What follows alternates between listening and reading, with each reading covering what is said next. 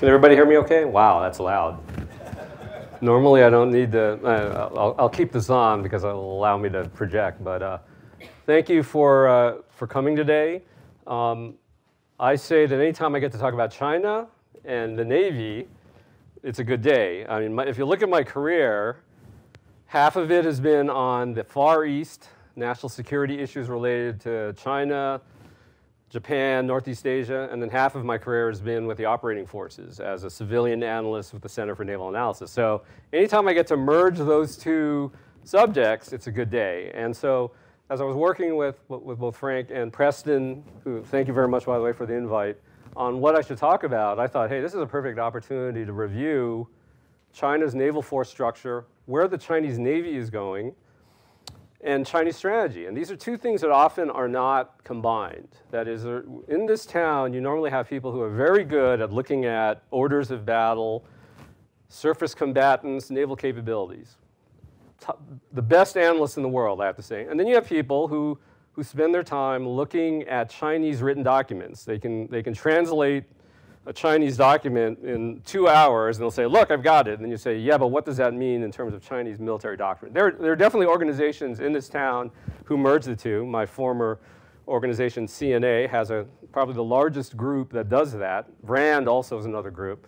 But it's, it's rare that you have an opportunity to take those two different subjects. And so I thought I would take the opportunity to look at China's naval force structure, where it's going, where it has been, and then to try and marry strategy to it. Where is it that we think China is going uh, with its navy, with its military capabilities? That to me, besides all of the other problems this country has with wars in the Middle East and other problems, to me, the biggest challenge, whether you think China and the United States are going to be at war and conflict in 20 years or not, this is, to me, the biggest strategic challenge. If we properly manage our relationship with China, we probably avoid a major systemic conflict. If we don't properly manage our relations with China, we're involved in a major systemic war, which is going to affect global security, Asian security. So either way you, you cut it, this is to me is the major challenge of our day. We have other challenges, certainly, but to me, to, to me, it's, and this is not only just from my own personal experience, I, I honestly think this is, the, this is the challenge we need to worry about. So today, the title of my talk, China is developing naval force structure and an emerging pattern in China's maritime strategy. So here's what we're going to, here's how I've structured the talk today. So what's the debate? What are the experts talking about? Where are we in terms of uh, the, the, the folks who look at the Chinese Navy, what are they saying? We're going to look in time, snapshots in time. What does the Chinese Navy look like from the mid 1990s all the way to the present? Now, I, I specifically selected that time frame for a number of reasons. First, it, there's consensus amongst uh, China watchers and defense analysts that that's about the early to mid 90s was when you started seeing evidence of uh, modernization in the Chinese Navy. So that's one reason. So there's a logical reason. The second re reason is my career started around that time frame, mid early 90s, 96. And the first uh, research study I did as a young pup analyst at the Center for Naval Analysis was to look at the Chinese Navy going out 20 years. So in 95, 96, the commander of 7th Fleet asked CNA, what does the Chinese Navy look like in 2000, 2010? So I, I have something personally invested in this question that as a, a, a 25, 26 year old, I was asked to look at this question and I made predictions about what the Navy would look like 2000, 2010 and then you guys can ask me the question, did, you, did I get it right or not? We, we can talk about that. So, so force structure. Then I asked the question, when you look at China's naval force structure over time, what's going on here? Does, does it fit any pattern that we can make sense of, or do we need to interpret this? Um, that to me then leads to a question of Chinese grand strategy and strategic objectives. That is, as you look and try and figure out the patterns of, China, the, of the force structure and the military capabilities, is it conforming to some sort of grand strategy or strategic objective that the Chinese have either stated, hinted at, or through their actions you can discern? Then what I'm going to do, I will say, once we've done that, how does that show itself in their maritime strategy? What activities do we see China's actions in the maritime domain conform with, with my stated argument about what their strategy is? And then finally conclusions and final thoughts. And then somewhere in between, you guys will either say, I see it, hallelujah, I agree with you, or you'll completely disagree and we'll have a nice argument discussion, you name it. All right, I'm going to give you a few moments to read this because this is what some of the, some of the best analysts on China's maritime capabilities have to say about this. Uh, I want to point out these gentlemen are former bosses, former professors of mine, former colleagues. And they're widely seen as some of the best analysts on the Chinese Navy. Bud Cole, uh, professor at National War College, widely seen as one of the best experts on the Chinese Navy. Admiral Mike McDevitt, former CINCPAC J5 and the Commandant of the National War College, definitely seen as an expert on, on the Chinese military. Patrick Cronin gave me my start. He gave me the job at CNA and was my for, former professor and certainly has something to say on where the Chinese military is going, James Holmes at the War College. So if you read all of these, the impression you get is, is over time, the China's Navy looks like it's becoming a sea control Navy. That is, either whether you agree that it's they're controlling the territory within the first island chain within the Asia Pacific, or they're going for something much grander, global capabilities out beyond the first island chain and into the Indian Ocean and possibly the globe. So we're talking right now, many individuals, analysts who I deeply respect make the argument that looks like we're talking about a sea control Navy. Now, in 1996, 95, there was a question of whether that was the case. Many analysts would say, I don't see it. They don't have the ability to protect fleets at sea, far distances out from China. Um, they, uh, their surface combatants need a lot of development, a lot of work. They don't have the endurance. So these are some of the arguments that were being made in the mid 90s. Now, depending on how you make this argument depends on how you would characterize some of these different types of navies. So if you look at Chinese naval modernization and the question of what strategy guides it, I would say that there are probably four different possibilities.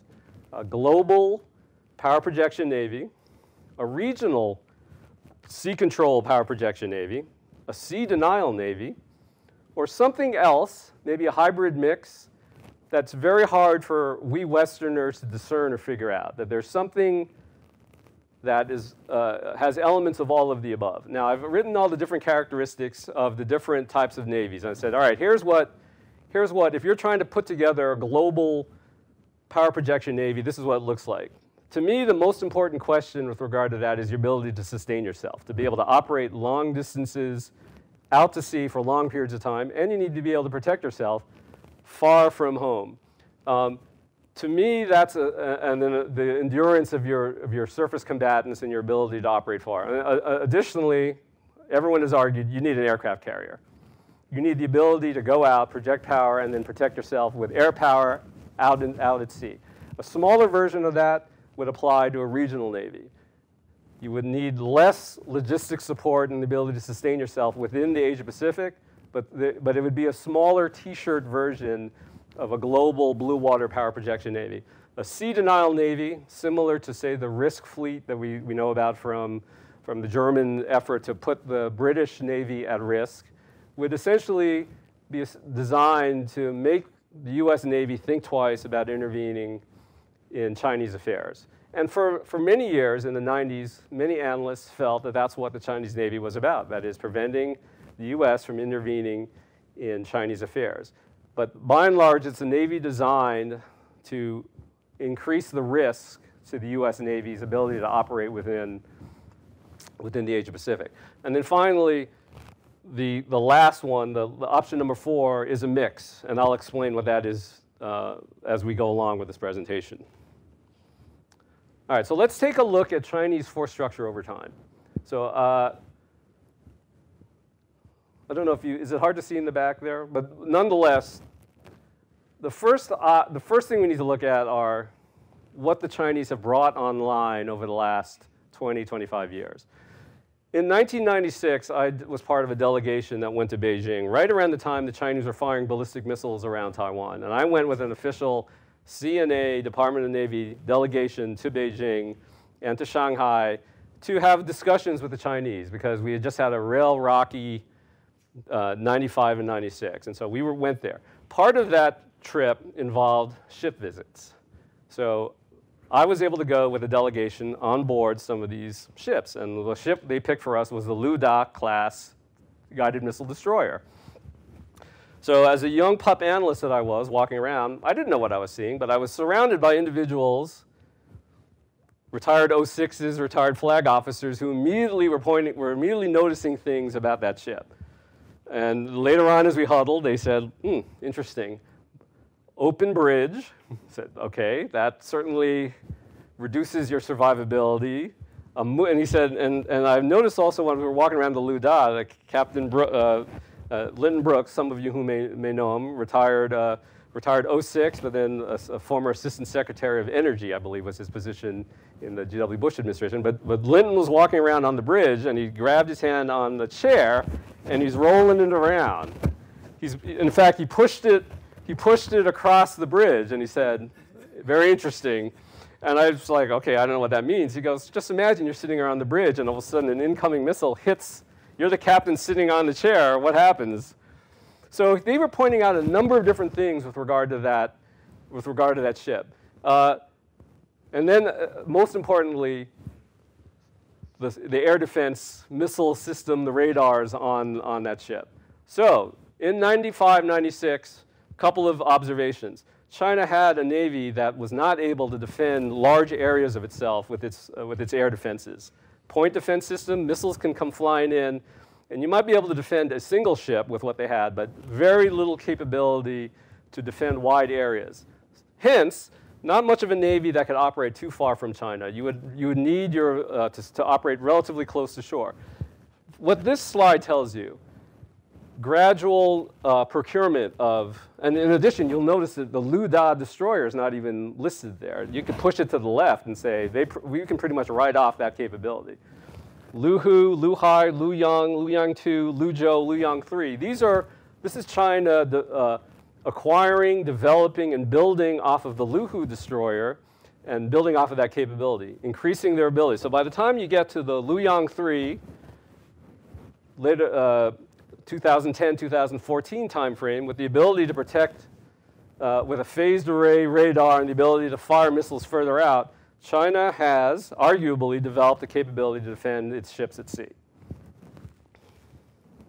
Submarine commissionings.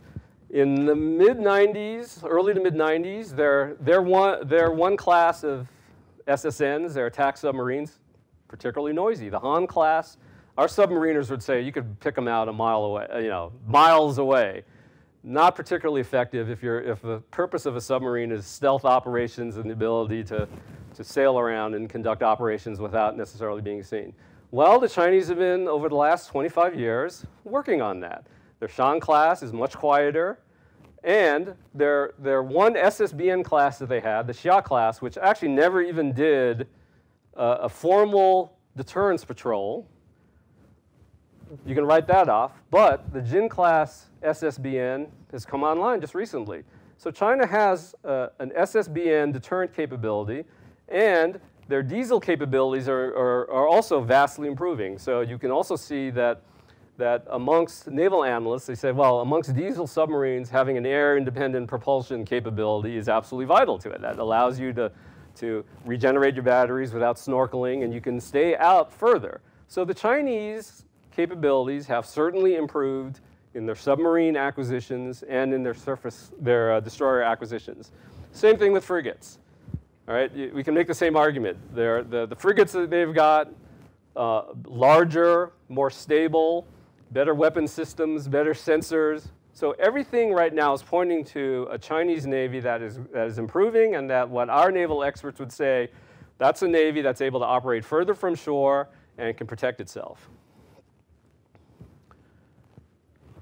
I want, I want to highlight the, this lower part of this graph, which is the upper part um, in the 90s, you can see that, that the sheer numbers haven't really changed that much, but what's changed is the modernization of the force. That is, you could have said in 1995, 94, that the Chinese had, you know, 40, 50 diesel attack submarines. But those were Romeo class, much noisier.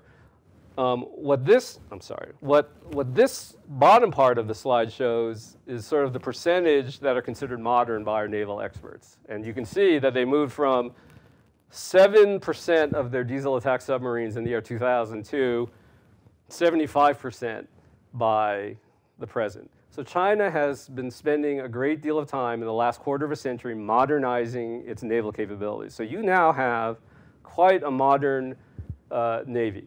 Um, other, some other factoids, it's the second largest navy in the world after the United States. And now it's much more modern. So there's something to be said for what Admiral McDevitt, Bud Cole, Patrick Cronin, and James Holmes had to say, which is we've got our hand, on our hands on the verge of a sea control navy that we're going to have to contend with. Okay, I agree with that. But the question I always ask, I'm always at conferences with these guys, and I always say, what are they going to do with these things? What's the purpose of having a sea control navy that's able to control or be able to operate in the Indian Ocean? What is the purpose? You can, so on the one hand, you can interpret that ominously, or you can, or you can interpret it not ominously. Well, yeah, we've got this range of different threats that could be posed against the United States, but I want to get at the strategy. What is it that the Chinese are actually trying to do with this capability? What is it that they're trying to do? And to me, that's an insufficiently answered question yes, they've got a sea control, emerging sea control capability, but what are they doing with it? And, and when we look at Chinese behavior today, what does that suggest they're doing? Here's why I think we can't simply say, sea control Navy, they're out to essentially push the United States off of our hill. So to me, there's, there's little bits of evidence that, will, that point that there's something more going on here unfinished business. By the way, this is, this, these numbers are wrong. This is the combined amphibious force is about 40 to 50 in that time frame. I, I just wasn't smart enough as a, as a um, PowerPoint ranger, I guess the term, to, to come up with a better uh, uh, ability to merge it or make that slide look fancier than it is. But that's, that's a total amphibious force of about 40 to 50. Um, but look at this you've got a combined LST, LPD, and LSM4, uh, LST and LPD force of about 30 ships, right? Uh, four of those are LPD, which is their more modern landing platform dock. So if you look at the US Navy, our San Antonio class LPD is roughly the size of the, it's actually a little bit larger than China's um, class of landing platform dock if you talk to the US Navy, they'll say four LPDs does not buy you much. It's not able to land anything near, anywhere near a division. I don't even think you can land, you can land probably a battalion with, with that number of, uh, but to me the bigger question is, China had the ability to just crank out LSTs. Or if you, if you, you know, LST to me is the king. You can drive those things from mainland China right over to Taiwan, which is about 100, a little less than 100 nautical miles and just park them on the beach. I mean, if you just think about the number of LSTs required for a, a Normandy invasion, the Chinese could simply have replicated that. They could have modernized them, made them better, and you can just throw tanks and everything on it. To me, that would have been the king to solving the Taiwan problem. But no, that's not what they did. You're seeing a relatively static amphibious force for most of the 21st century. They did not go, and they could have done it. They had the technical capability, and they could have just spit out LSTs right and left. It's certainly not beyond their technical capability. Instead, they start focusing on longer range landing platform ships, LPD, rumors about an LHD. Those are longer range expeditionary capabilities that have larger purposes. They are leaving, so to me, why leave the Taiwan mission alone when that to me is the most, if you're trying, so in other words, if the bottom line is, is you're going global, you need to settle things at home first, right?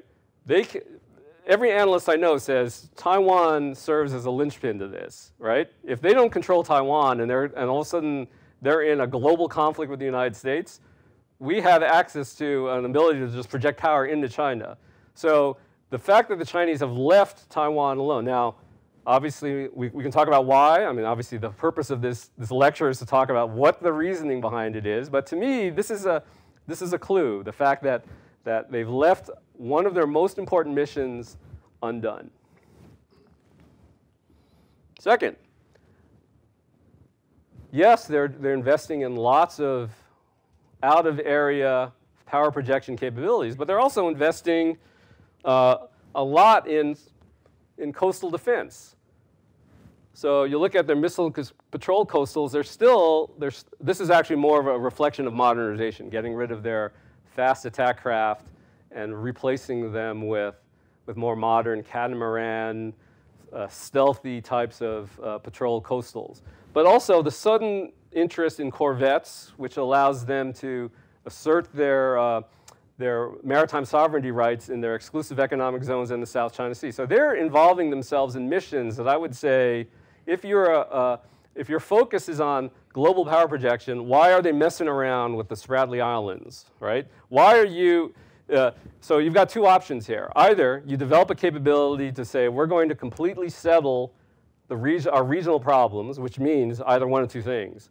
You develop the ability to land, uh, you, you do a repeat of the Imperial Navy in Japan, which is landings in the Philippines, Singapore, and you essentially control all of that territory to allow you to project power out, or you make sure that your political relationships with the countries in that region are absolutely calm, as tranquil as possible. Why then are they getting into little catfights and, and arguments with the countries in the Asia Pacific. The fact that they're getting in these little rows with Singapore and with Indonesia and with Malaysia and with the Philippines and Vietnam. So, so to me, something, something doesn't quite sound right, okay, again. Next. A lot of our analysts are saying, yeah, this is a, this is a power projection, long distance sustainment Navy. Is it? All right, to do this, you got to sustain your, your, your naval forces out beyond the first and second island chains, out in the Indian Ocean for long periods of time. If you look at the comparison, US Navy Combat Logistics Force and where China is, they're nowhere near the capability to do that. Now, you can make the argument that they can spit, spit out uh, an underway replenishment ship once a year and that in no time they'll have that capability. True, probably. But over a 20-year time frame, the fact that they only have eight of these things tells me that, that that was not first and foremost on their minds. Second, the number of uh, attack submarines that they have, nuclear attack, you would need a much greater number if you're trying to take on a superpower globally. Um, and the fact that they're still, they're still um, obtaining what I would say is more of a regional navy, sea denial type of navy, diesel subs that can hide and then make the United States think twice about coming in means that this, this is a much more complicated question than China is, and then finally the SSBNs. That is too small of a force, in my opinion, to take on the United States if we're in a superpower confrontation. The same can be said, and I'll expand this, expand this presentation to talk about China's military force structure. They've got about 300 ICBMs to our however, however many thousands we have. So there's a strategy going on here that is not as simple as we normally make the argument. This is a challenging strategy, which I will talk about, but it is not as simple and straightforward as we often make the claim that it is. All right, so what's going on here? What's, what's Dr. Yung's thesis for what, what, uh, what's going on? Uh, I'm sorry, for, I'm sorry for, for this busy slide, but um, and I think I've made most of these arguments. So if China's going global, it's going to take care of its near seas, inner, inside Asia mission first, primarily Taiwan, and they haven't done that. They've just they've left Taiwan out as now they're we'll talk about what they're doing about that. But by and large, if China was really concerned about we're going to go global and we're taking the United States on, they're certainly not going to be leaving Taiwan alone. That would have been the first order of business. We need to corral Taiwan in and fast. And we need to make sure that this, this does not become a geographical liability to China. Um, still putting a lot of resources into their coastal, their coastal capabilities. And then here's what I think is most important.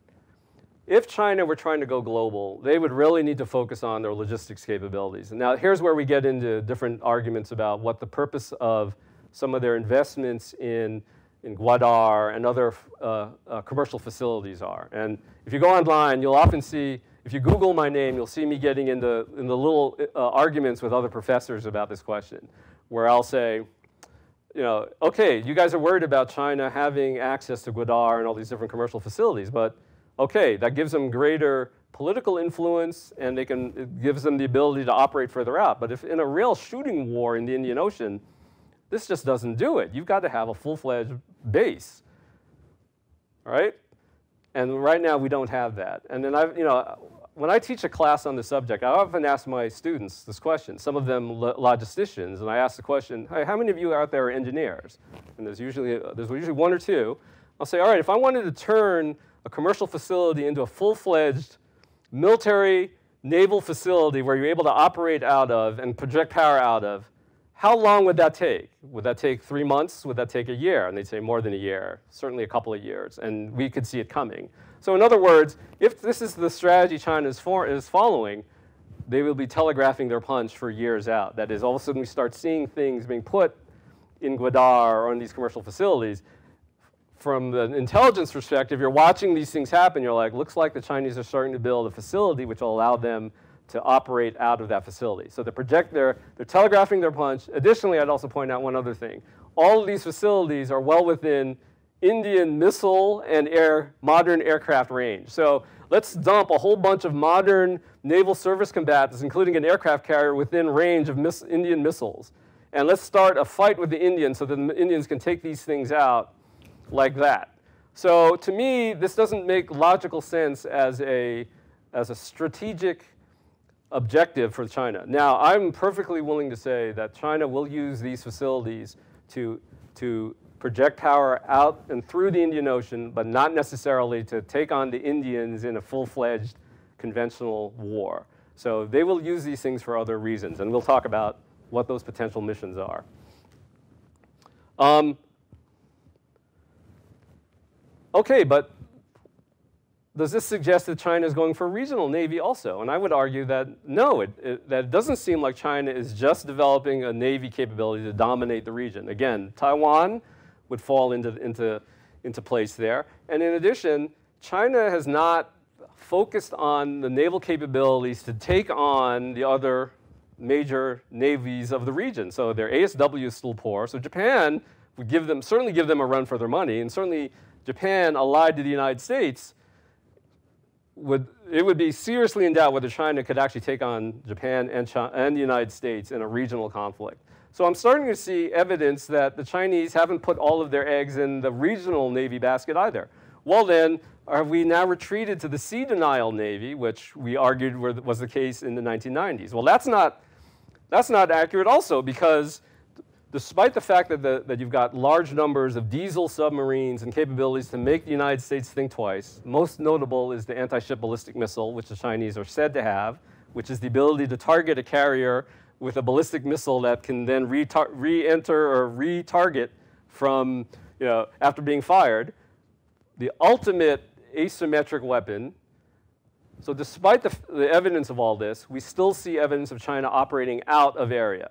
Expeditionary, uh, operations in the Gulf of Aden to deal with counter-piracy operations, um, submarine activity in the Indian Ocean. So I would argue that my thesis is it's a mix. There's something else going on in China's strategy that is not as simple as the first three uh, hypotheses argued. It's not a global navy that they're shooting for. It's not a regional navy. It's not a sea denial navy. It's a mixture of the above to accomplish certain political objectives that the Chinese have laid out for themselves.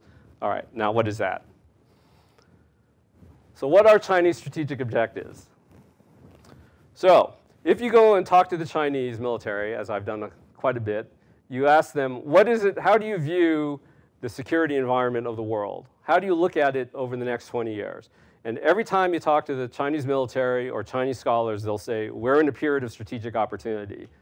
And then you say, well, what does that mean? And then after uh, about an hour or two of kabuki dancing and, and trying to unravel exactly what that means. Uh, when I say this, it's me and the assistant military attache and the naval attache asking the Chinese this question. Ultimately, it comes down to this. China looks at the world as being created by the United States. The US created this world. It's a, it's a US-led international order. This US-led international order has benefited China. China has grown 10%, had grown 10% over 30 years. The Chinese see that as a good thing. They can continue to grow at 10%. Well, they can continue to grow, not at the 10% level. So the, the Chinese will say a period of strategic opportunity essentially means we get to free ride off of you guys for a bit longer. You're, if, there's a, if there's a fire, uh, a brush fire in the Middle East, we know the United States will respond to that, even though China has a great deal of, of interest in the Middle East, access to energy, raw materials.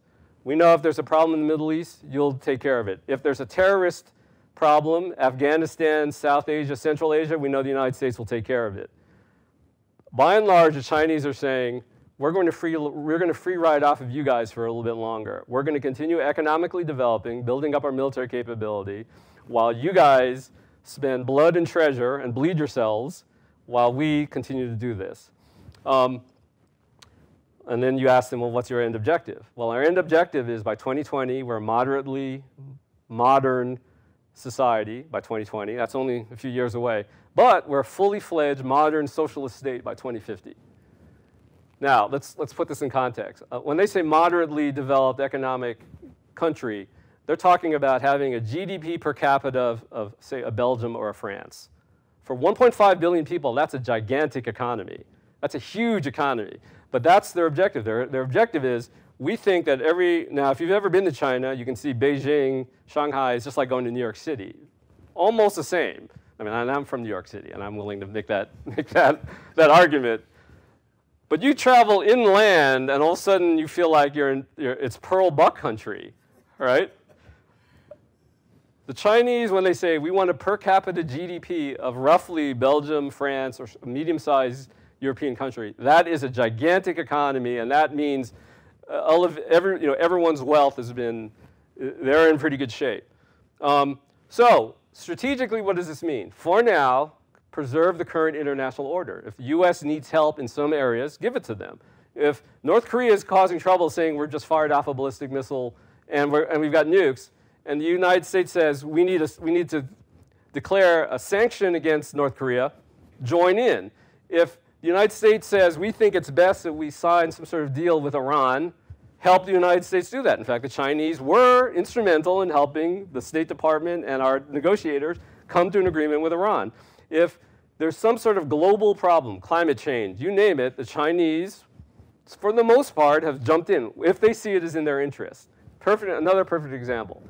I don't know if you know this, but, there, but right now, drift net fishing in the North Pacific is a problem that both countries don't like. The United States says this depletes our fisheries. The Chinese say it depletes our fisheries. We rely on fish. On fish.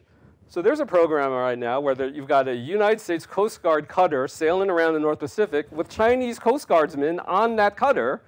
And when they intercept bad guys, usually Chinese, the Chinese Coast Guardsmen are there to, to do the, the prosecution, arrest, and all the legal stuff.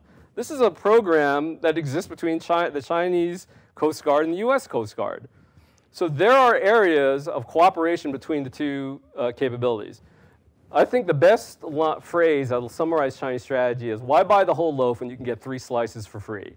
That is why the Chinese, and the Chinese will come out and say this. Why, when you guys argue that you're gonna, we're going to knock you off the hill, why would we do that? If there's a forest fire in the Middle East, you expect us to send an expeditionary force taking shots from terrorists. Oh, and by the way, by doing that, we're going to invite terrorists into China when stability is our number one, right? We just heard of it, I don't know if you read in the paper, an explosion in Jiangsu province, kindergarten. I think seven kids or whatever. Uh, children casualties. This is China's worst nightmare. So the Chinese are, are going to be very careful about what their footprint in the world is going to be. And so I would argue that, that their ultimate objective is to ultimately dominate the Asia Pacific region like they had in the past. And their view on global strategy is something else, which I'll talk about in a minute. But it is not, in my opinion, we, we want the whole enchilada, or to use another Asian ethnic food comparison, we don't want the whole egg roll, all right? The, the Chinese are going to be thinking very carefully about what their strategic role in the world is in relation to the United States. So how do they go about doing this? So given this objective, what do they do? They're going to accomplish this objective without a direct confrontation with the United States. They know that in a direct confrontation with the United States, one of two things happens. One thing is certainly going to happen. The world economy takes a hit. I've, seen, I've seen estimates that GDP will, at a minimum, drop 4%, global GDP. All right, that's massive unemployment for not only for China but for us. So no matter how a global conflict or a conflict with the United States is, is it's going to have an effect on the economy. That's, that's a hit to the China, Chinese, that's a hit to us. Um, all right, Taiwan. Taiwan remains an important strategic objective of China. the Chinese say this is, un, this is unfinished business. Taiwan is part of China. It, it remains part of the century and a half of humiliation in which imperial powers carved up, imperial powers and Japan carved up China, and Taiwan remains out of our reach. It is our political objective to get Taiwan back into the fold. No general secretary of the Chinese Communist Party can allow Taiwan to escape. If, if Taiwan declares independence and is able to get away with it, that's general secretary of the party is done. His, his political career is over. So the Chinese will say, all right, so how do we do this without necessarily getting embroiled in a, co a conflict with the United States? Well, the answer is they gradually fold Taiwan in. And all their actions are not to, to provoke a confrontation with the US, but to gradually fold Taiwan back in. And we'll talk about what they're going to do in order to make that happen. South China Sea disputes, same thing. China, China will say, listen, these maritime territories belong to China, so it's a domestic political problem for them these territories in the South China Sea and in the East China Sea belong to China. The, again, no general secretary of the party is going to survive allowing one, any of those territories to get either seized, obtained by, you name the rival country, Vietnam, Philippines, etc. So that is that's one of their red lines, but they will say, we don't have the ability to solve this, not as long as the United States is present in the region. They have the ability to bully, coerce, and cause countries to think twice about being provocative, but right now they lack the capability to just settle this militarily. So again, they're going to do this by gradually, now when I say on this slide, it says maintain status quo plus. That means that they'll essentially try and keep things the same, but if another country does something provocatively, China re responds relatively forcefully and leaves that other country stinging and in a worse position. Case number one, Scarborough Shoal. Philippines try to arrest Chinese fishermen. China responds with large numbers of China maritime surveillance ships, and ultimately when everyone backs off, China was left uh, present on Scarborough Shoal. The Philippines will think twice. Well, the Philippines now with Duterte, it's another completely different dynamic. But the Philippines and any of these countries are going to think twice about provoking China in the South China Sea. The other, the wild card though through all this is American interference. The U.S. can interfere in a number of different ways both on Taiwan and in the South China Sea. And so the, the, Chinese are going to continually have to deal with making the United States think twice about operating in, in this area. So one of their other objectives, or one of the other ways they're going to go about doing this, is to say, all right, how do we completely or continuously increase the cost for the United States to operate within this area? Um, finally, China has interests abroad. They are trying to continue their economic development. They have interests in the Middle East, they have interests in Central Asia, South Asia. They have interests in making money and getting raw materials and bringing those raw materials back. And so the Chinese, and, and, and in conjunction with those increased economic out of area interests come security interests. Piracy attacks, terrorist attacks, destruction of Chinese property, countries collapsing with citizens suddenly there. So the Chinese have to come up with a strategy to deal with out of area operations or interests far from China. So, and then finally, if we're talking about a long term competition with the United States in which the United States may act in a way that is not in conformity with China's long term interests, they have to take into account the possibility that the US gets coercive with, with our nuclear weapons capability. So whatever their strategy is, they have to come up with a means to address the fact that we have thousands of nuclear weapons and they do not. They've had to think through that issue. So given that that's the general approach, how, how has that affected their maritime strategy? And so, given that I've sort of laid out their, their strategic objectives, do we see anything in their behavior in the maritime domain which would seem to suggest that these actions in the maritime domain are supporting the strategy that I've laid out? All right, Taiwan problem. So continuously develop a military capability to conduct a full-scale assault on the island, but don't quite get there yet. And so, so get, so yes, I pointed to that slide which showed a steady number of, of assault ship capability, but they're gradually in putting into that force modernized capabilities. So an LPD is still a much more modern ship than an LST um, and continually develop. Uh, they're getting air cushion landing craft like our Navy. They're, they're getting LCACs, increasing the size of the PLA Marine Corps. They're going from 20,000 to roughly 100,000 Marines. I, now, I think most of those Marines will be used for operations outside of the Asia Pacific, but by and large, that's a signal. And in addition, there are things going on in terms of joint military reform in China which moves them towards a better ability to deal with Taiwan. Um, develop capabilities to increase the pressure on Taiwan, increase coercion, and therefore the Chinese have been practicing and developing the, uh, uh, the ability to blockade Taiwan if they need to. And they, um, they're continuously developing the ballistic missile capability in, to coerce Taiwan, to be able to strike airfields, ports, and other things.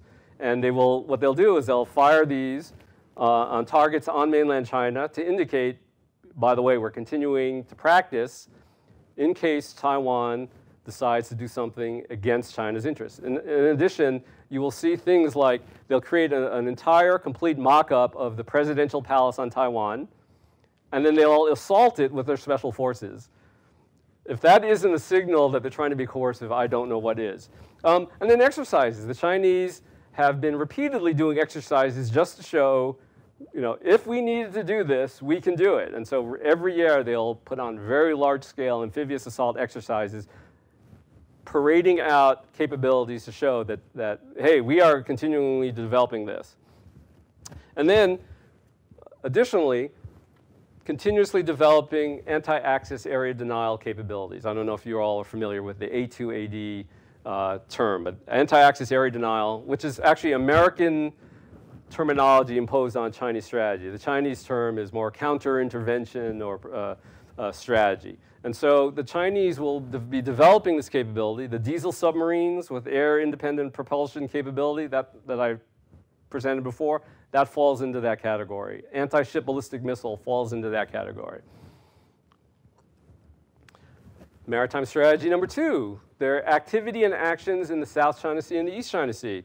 So they are gradually changing facts on the ground, expanding uh, uh, airfields on some of the islets they have, deepening some of the harbors, um, and then doing what we would call gray zone operations. They're taking actions which are short of, of, uh, of thresholds that Pacific Command and the US military would consider the need that we would need to respond militarily. So they're acting in, ve in very discreet ways that are putting pressure on the rival claimants, but don't trigger any military responses from the United States. And so, for example, they will send in their China Maritime Surveillance Force, not their Navy, to bully, push, and coerce the other navies. And then when the, when the other navies respond, the Chinese will say, hey, we're just, we're just enforcing our maritime laws.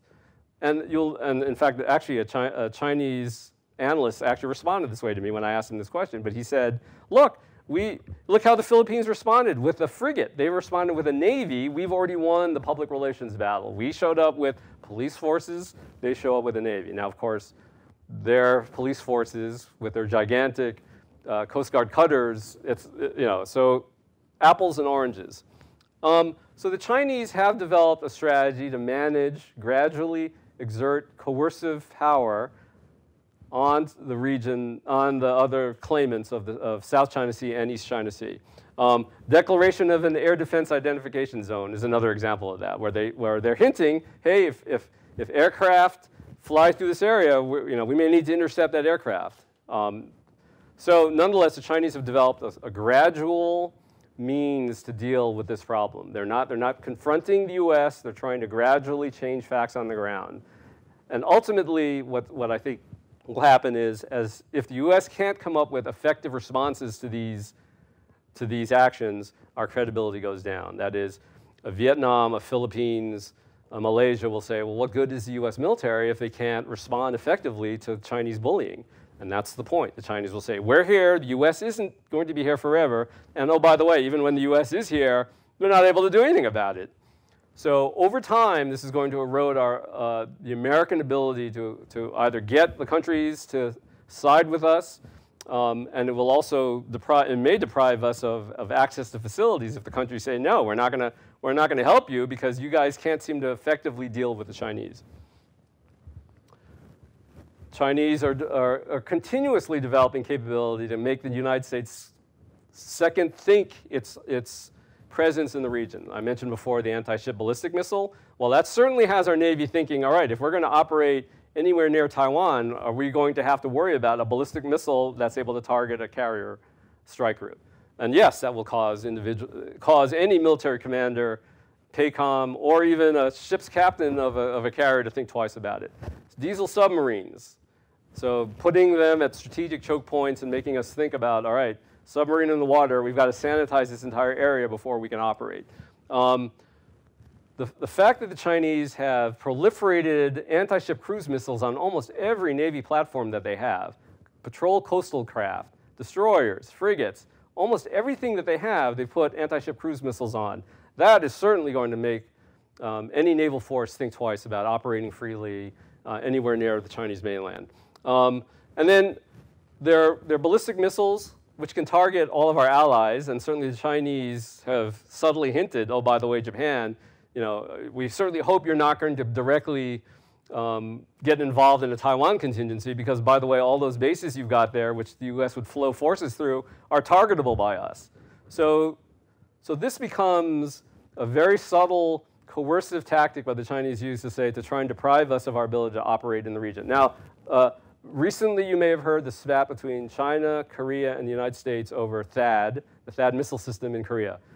So from a U.S. perspective, you know, we're sort of puzzled. Why do the Chinese, this is us helping an ally deal with a North Korean missile, ballistic missile and nuclear threat. Why are the Chinese making such a fuss of this thing? To include the Chinese saying, we're going to cut off tourism, we're going to really put the screws to South Korea. Well, you can interpret it this way. The Chinese are thinking in terms of what's our capability to make the United States think twice about operating in the region, our ballistic missile capabilities.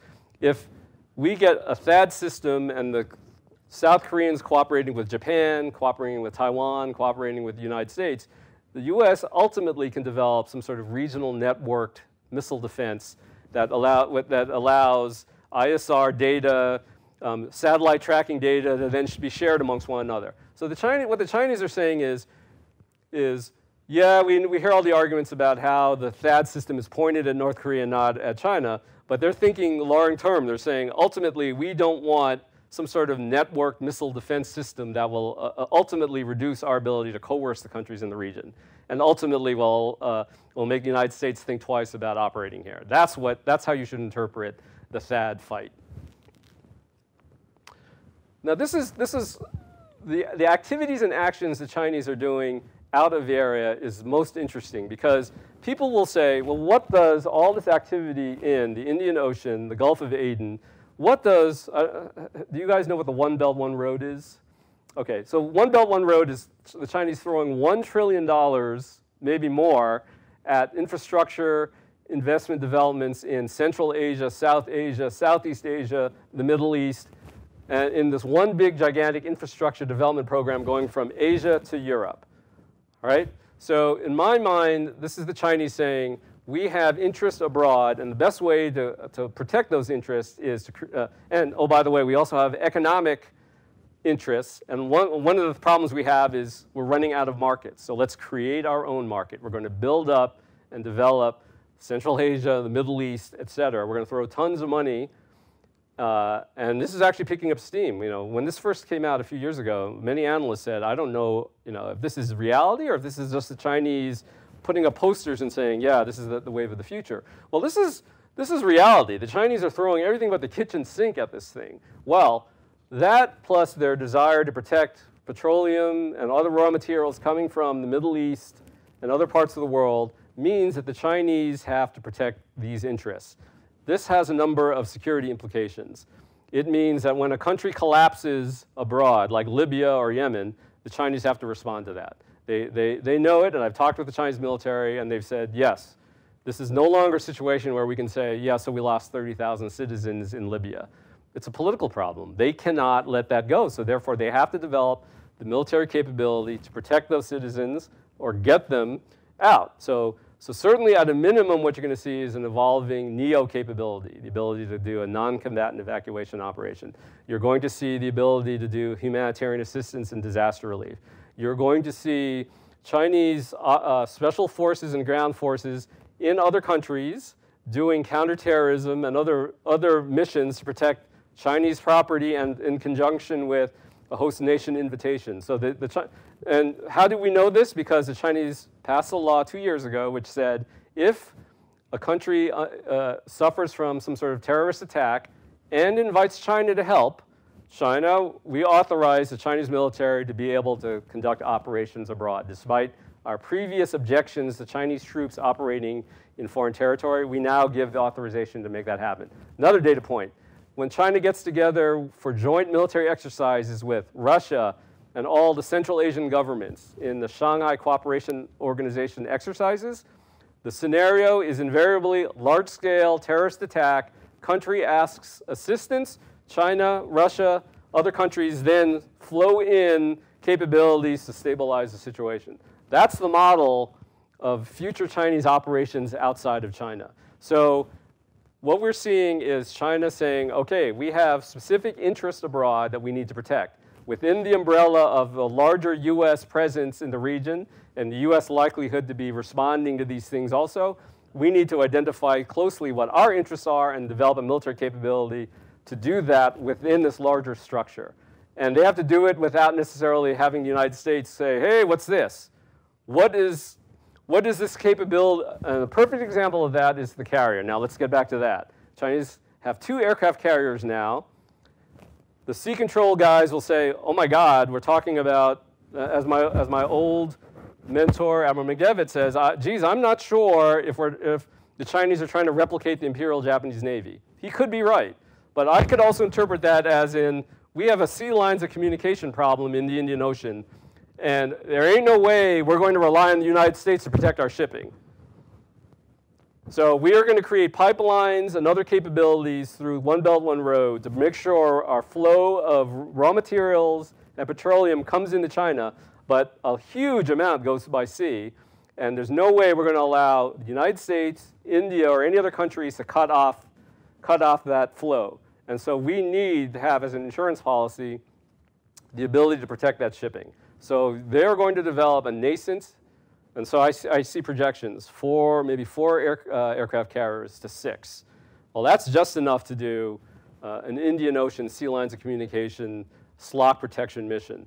And the Chinese will say to you, and you've asked them this directly, they'll say, yeah, it has two implications here. So if we're in a conflict with you, right, and we're in a conflict with India, we have to have this capability. If we're not in a conflict with you, we have to have this capability. So we are going to be pushing for development because well, either way, we're going to need to develop this capability. We would hope that we can cooperate with India and the United States. And we will, if you guys have, if the Indians and the Australians and the Japanese invite us again in their quadrilateral exercise that they do to participate in a SLOC protection exercise, we'll participate. So to me, this is an open question. And finally, uh, nuclear deterrence. So before I'd said they're, they're going to have six SSBNs. That's, that's certainly insufficient for a slugging match with the United States over strategic weaponry, right? But I think the six SSBNs, if they're good, combined with the, the, the hundreds that they have of ICBMs abroad, falls in line with Chinese nuclear doctrine, which is secure second strike. That is, they don't, they don't have a nuclear warfighting doctrine. They don't believe in MAD. What they're doing is they're saying, we want the ability to keep the United States from coercing us. We want freedom of maneuver to coerce the countries in the region to politically dominate the Asia Pacific, and we want the US to gradually back out. And we think six SSBNs, or whatever number, plus however small number of ICBMs they have ground based, should do the trick. I mean, that's the doctrine they've been living under for a few decades now. And I think the SSBN development gives them a, enhances their secure second strike. So, um, so what's the conclusion and final thoughts on this? So what you're seeing is you're seeing an, elements of all of the navies I talked about. There are elements of a blue water navy, there are elements of a regional sea control navy, there are elements of a sea denial navy, and there are elements of a whole mix of different things. If it, this mix makes sense if you look at their strategic objectives. What is it they're after? How are they trying to do it? And the answer is they're trying to do it gradually over time without necessarily having a direct confrontation with the US. And they're trying to do it to head off certain contingencies that they're afraid of and worried about. And so to me, the force structure makes sense um, given um, the strategies they're trying to accomplish. I would also point out another thing too. I wouldn't be surprised if 10, 15, 20 years from now, the Chinese, and this is, uh, to me, I think this is, um, a, this is very typical Chinese. They don't, I know it's popular, popular to say China, the Chinese think strategically. They can think 100, 200 years out. Yes, they do think strategically, but the Chinese also have a habit of, of, of saying, all right, what are we going to be like in five years? Okay, we think this is where we're going to be. Well, in the five-year mark, let's look around. Let's see if we need to course correct. And then in 10 years, let's look around, let's course correct. If in 10, 15, 20 years, the Chinese sit there and say, uh, uh, I mean, a big question is, where is the United States going to be in 20 years? What's our global posture going to be? If the United States is not a forward global postured superpower that's protecting the international order, which is possible, the Chinese may conclude we need to step up because the US is back down. If we are a globally forward postured power that's much more vigorous and much more active, the Chinese will say, may say, okay, let's, re let's think of it. Let's think about how we're going to interact with the United States. So I would argue that this is not a written script. This is still to be played out. And a lot of it has to do with what we end up doing. So with that, let me conclude and let me take your questions. I'm sure you may have, you may have many. And in addition, let me just point out something else. I, I've given a specific presentation on Chinese maritime strategy and their force structure, but I, my, um, my expertise is pretty much just on any type of Chinese strategic issue. So if you want to uh, go off on that, um, and other question is fine as well. Thank you. I have the microphone. Questions?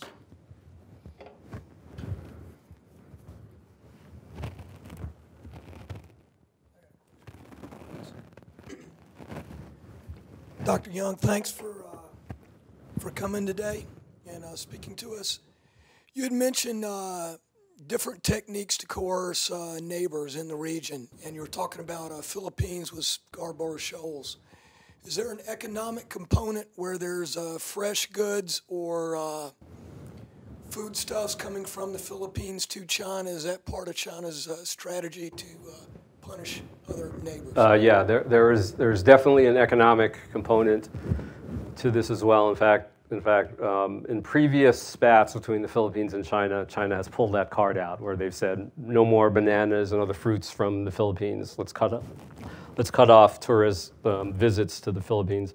Um, uh, I have done some work on what those instruments and tools are, um, and in fact, China is not alone in doing that. So the Philippines also pulls out certain instruments as well. But China uh, is, uh, has a voluminous toolkit that it uses to try and shape the environment, legal, economic, informational, and it will, it will pull those out as necessary. And, and because of the nature of the Chinese government, it's much more coordinated. That is, you can, you can coordinate some of these actions in conjunction with one another. So, so economics is definitely part of their, um, their coercive toolkit, yes.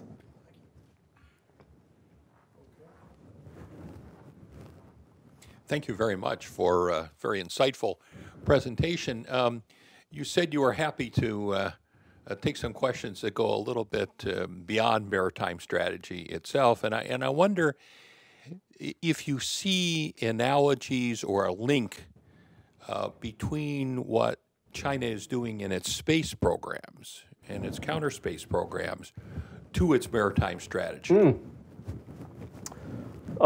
so I space is definitely something I don't have a, a great deal of, of, expertise in, but yeah, there, there are some analogies. Um, I, I would say that because China is, is, a, is a budding, is a nascent space power, that you're seeing less, you're seeing less aggressive action, course of action, but that could change as China becomes much more capable.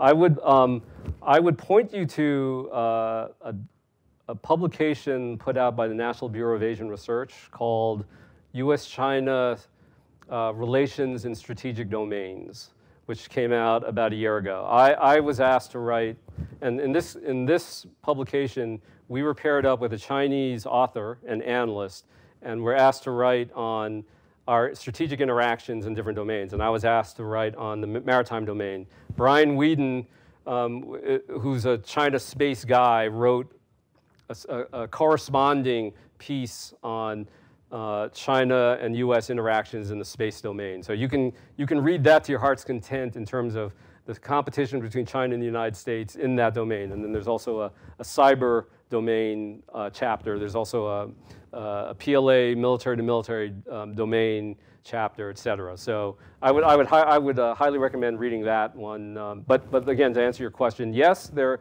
there's some similar behavior, but because they're, they're less further along. I would say that it's less competitive right now, less aggressive, I think. Hi, how you doing? Uh, Chris Pultz from uh, uh, Joint Military Attaché School. Uh, quick question for you. Um, one of the things you didn't mention in your in your presentation was the 2004 new his, new historic missions laid out yeah, by yeah. Hu Jintao as yeah. kind of the what I think is a, a shift in China's uh, direction, uh, PLA direction in terms of reorganization, restructuring, training, and then laying out one of the guidelines laid out in that was was the uh, protecting uh, China's economic interests. Do you not see that there is that perhaps what we're seeing is the, the, is the kind of the fruition of this the new historic missions coming to life, finally being delivered by the PLA, and and and uh, finally, uh, you know, getting near that point where they can deliver that capability and how that no, relates to. No, no, I, abso- I absolutely think that that uh, and I'm sorry I didn't insert the new historic missions in, in uh, a slide all its own, but I, I, absolutely think that, that the new historic missions uh, uh, constitute sort of the, the thinking in terms of all right, what are the, what are the threats? You know, so the threats I laid out for you, the Chinese have sat down and said, all right, what, what is particularly threatening to us and how do we address these issues? And I think the new historic missions, which came out, I believe they were announced in 2007, or was it 2004? Okay. So 2004 was, again, an, a crystallization of, okay, so how do we direct the military to now accomplish these missions? So, so in contrast, I would highlight the new historic missions as being central to the Chinese thinking out this, uh, this strategy. Um, and I'm sorry I didn't present it, I mean, uh, give it the, the, uh, the, the fame and notoriety that it deserves. So thank you for bringing that up. Yeah. So, sir, thank you for coming. Um, so I understand that the defense industry is a large part of any country's uh, general power. Um, so with uh, Chinese expansion of their global objectives, et cetera, and given that the defense industry and private security provides a large portion of, of that power, do you see any development with um, a private security industry within like the Chinese context with their new expansion of, of their expeditionary forces and global objectives uh, to be used similar in a way to we use as far as you know support functions or even logistic functions, yeah, yeah. intel, etc. Great question. Guess who was in China uh, maybe a month ago? Erik Prince was roaming around China talking about what? We don't know. Well, I think I can guess. What? Um, yeah, this is all right. So let me let me interpret something for you you have One Belt, One Road, you have Chinese interests in territory outside of China. Politically, the Chinese have said, we will never put, we will never base large numbers of troops in foreign territory abroad. If we're invited by a host nation country, we'll, we'll take care of contingency operations, but we'll never post large numbers of troops um, because we get sucked, I mean, for whatever reason, the Chinese right now are thinking about getting around that political uh, landmine. It's all right. We are going to have security interests to protect. You know, we've got huge amounts of in investment going into these places. One possible answer is um, security, private security uh, force that they can hire, train, put in, and it becomes less of a political uh, landmine for China? And so that's a great question. It sort of gets to, this is, gets to what I'm trying to get at, which is the Chinese have specific interests of trying to narrowly, um, right? One, one response could be, well, just flow lots of troops in and you know, provide gigantic numbers of Chinese divisions to protect these things. Well, that's a political, from the Chinese perspective, that's, it's, uh, that's getting sucked into the local politics and making, makes China a gigantic target. The possibility of having private contractors roaming around who they could then say, now they would have the same political uh, problems we would have when we have large numbers of private contractors running around, but the Chinese are clearly thinking about this. So that's a great question because it sort of shows the Chinese are thinking about this question. How do we manage these out of area operations? One possibility is private security contractors, what have you. Another possibility, which we, we don't see any evidence yet, and I'm the, probably the only China analyst who makes this argument. I think we're not far from a Chinese amphibious ready group marine expeditionary unit. That is, put, put Chinese ground troops on amphibious ships, sail them around, wave the flag. Oh, look, the Chinese ARG-MEU pulling into, you name the port. The, you know, the Chinese buying, oh, wait a minute, look, non-combatant evacuation operation. Racing to the rescue. Humanitarian, I mean, our, our ARG-MEUs are, are perfect for that. Theirs would be too. So, I, so you heard it here first. I think that's on the horizon, 10, 15 years down the road. I think we have time for one more question. Dr. Meyer? Thanks a lot for the. Yeah, I can. I can. Can you flip the coin how are the Japanese, the Filipinos, and the Koreans reacting to all of this?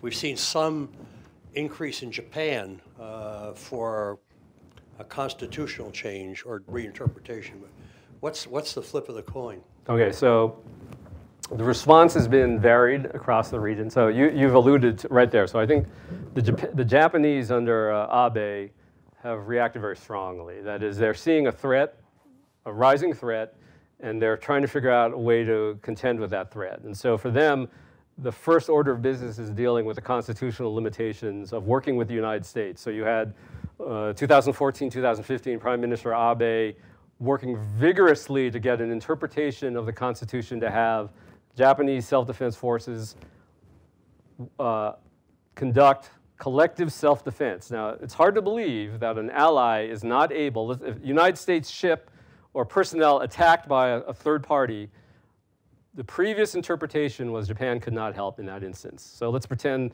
a, a Chinese submarine attacks a US vessel.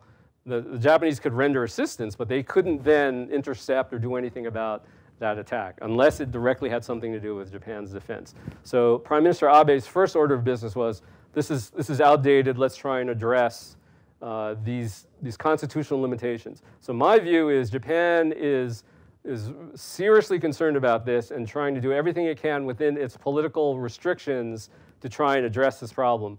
Um, when I was in Japan just recently, a month ago, they were even talking about things like, you know, they're, they're, they're, they're thinking about offensive strike missions in Korea, North Korea, because of the threat that North Koreans pose. So what we're seeing in Japan is a rethinking, at least under Prime Minister Abe, of Japan's role in its, its own defense, its relationship with the United States, how the self-defense forces see themselves and the roles that, that they see in uh, protecting for the defense of Japan. And that is going to require a lot of spade and shovel work, getting the, China, the Japanese population to, to then completely move out of 70 years of a pacifistic perspective.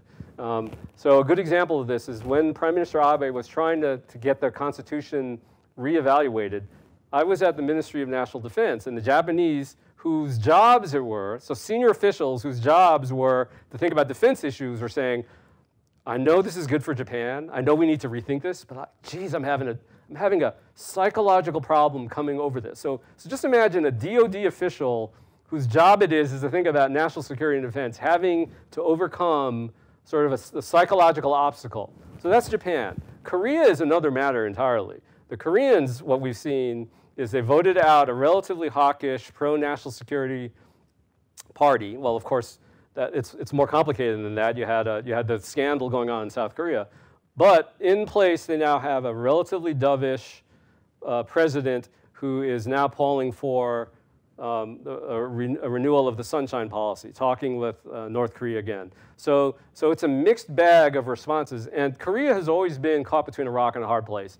Uh, a, a, a strategic concern with China and then an alliance relationship with the United States. So even under the best circumstances, Korean administrations are sort of knocked around and have to counterbalance two competing strategic objectives, keeping China relatively happy and quiet, uh, and, quiet and, and, and satisfying the demands of an alliance relationship with the US. So right now, the, the, the Koreans' tendency now is to say, okay, I think they're going to say, well, whatever we can do to keep China quiet uh, is going to be much more important. So that their response is less hawkish than Japan's has been. And the Philippines, Lord knows where they're going because of their, their current political situation. But their national security experts who I talk to will say most, most national security experts don't necessarily agree with President Duterte and his, his, his, his actions. We think that what we need to do is hunker down, have a closer relationship with the United States, like we were doing prior to the election of President Duterte, and that's the, that's the correct uh, approach. Vietnam, same thing. Vietnam caught between uh, the, the uh, U.S. partnership and a, uh, and a threat to the north, and they're also trying to balance these two off. And uh, to them, it's a, it's a kabuki dance as well. So the different responses, there have been different responses in the region to China's rise and how to deal with it. Please join me in uh, thanking our guest.